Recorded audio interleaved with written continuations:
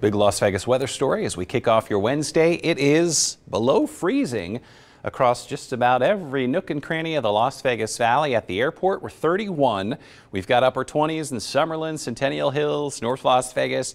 Also got upper 20s in the Southern Highlands, mid 20s down around the Henderson Executive Airport, also in the mid 20s in Boulder City and East Las Vegas. Really cold. Thankfully, it is reasonably calm outside. This afternoon, about 5 degrees above yesterday, still a very chilly afternoon with numbers in the low 50s, although some sunshine I think will help our case. This is the wind forecast today from noon through midnight. We'll have some southwest breezes steady at 10, a few gusts of 20, maybe 25 miles per hour this evening.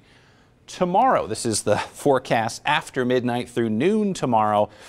We've got more wind steady at 15 to 17 miles per hour, some gusts up to 30 miles per hour tomorrow morning. So this time tomorrow, we're back to blustery conditions. In between the two, we'll have a cold front come through. This is just after midnight, 1 a.m. Most of us will be asleep, but yeah, the blue there and the little speckle of green, those would be some snowflakes, a couple of raindrops. Our surface temperatures will be in the mid 30s, if not upper 30s while this is moving through late tonight. Uh, so any street impacts would just be damp.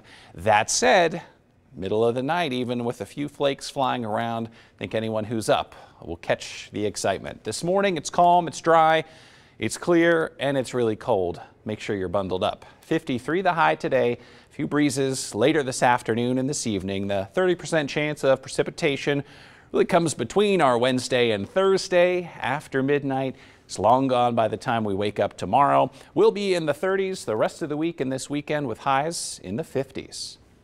New York.